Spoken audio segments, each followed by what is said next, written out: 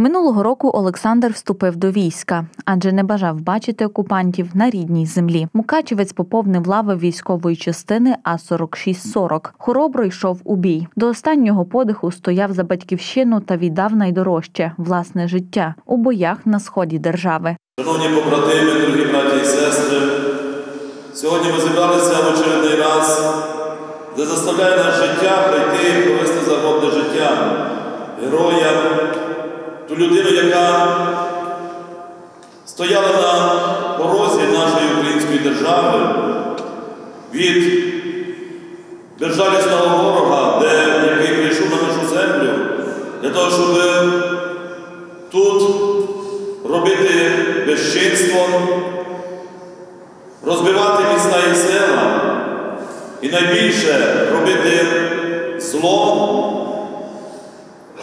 для того, щоб це зло забирало на найкращих людей із цього земного життя.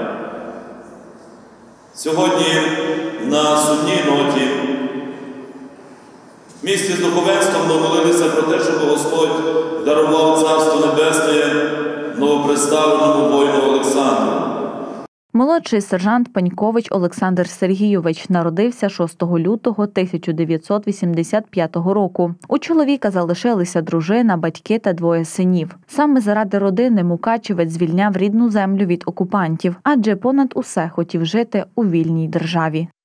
Прощається від своєї любимої дружини Лариси, з якою прожив 17 років, від своїх дорогих синочків Даніїла і Никити, для яких був стіною і опорою. Прощається від своїх дорогих батьків, тата Сергія, мами Жанни, яких дуже любив і старався допомогти всім. Сьогодні війна забирає найкращих, мужніх та хоробрих захисників. У кафедральному соборі Різдва Божої Матері кожен присутній дякує герою за можливість прокидатися під синьо-жовтим стягом. Він переходить із временного життя в вічність для того, щоб там бути в місті з Богом, як мученик, як той воїн Христовий, який постійно і постійно стоїть, стоїть на сторожі нашої рідної української землі.